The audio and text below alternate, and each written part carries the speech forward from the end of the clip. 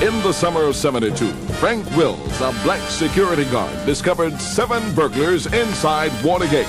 Frank, what did you tell them? run run run mr shirky The Watergate scandal is exposed by the press. Mr. Nixon meets with his top advisors. What's going on? Mr. Nixon, did you order the bugging at Watergate? No! No! No! Not me! Henry Kissinger, do you believe Mr. Nixon?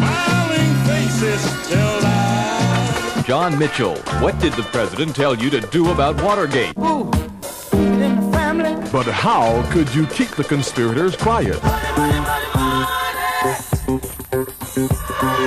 Hey, speaking of money, whatever happened to Spiro Agnew? I'm out here fighting hungry.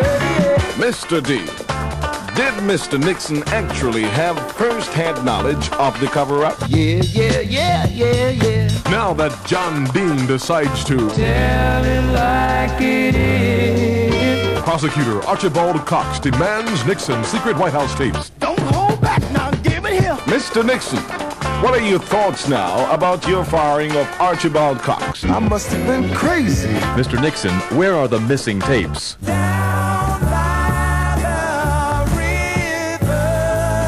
Congressman John Conyers, are you satisfied with the president's edited transcripts? No, no, no, no, no, no, no.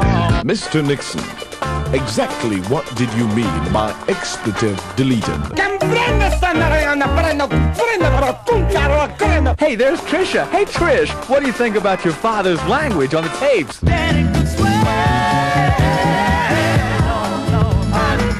Judge John Sirica, now that impeachment proceedings are underway, do you have any advice for Nixon? Get ready, you mother! On the big payback. Now to the Senate floor, where the impeachment vote is being taken.